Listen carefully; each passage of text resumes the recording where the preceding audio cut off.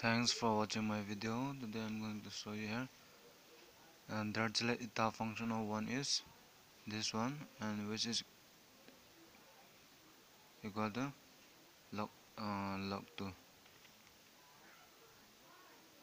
Dirichlet eta function is defined as 1 over one 1s minus 1 over 2s plus 1 over 3s minus 1 over 4s plus and so on.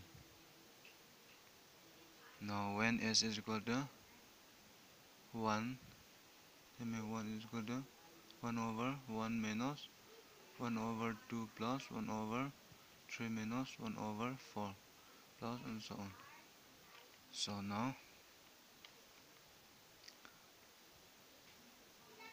but you know from the uh, logarithmic expansion minus x minus x square over 2 plus x cube over 3 minus x 4 over 4 plus and so on.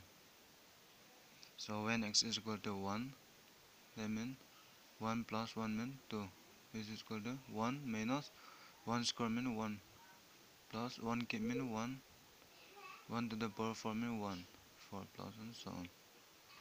So this is exactly same as this one. So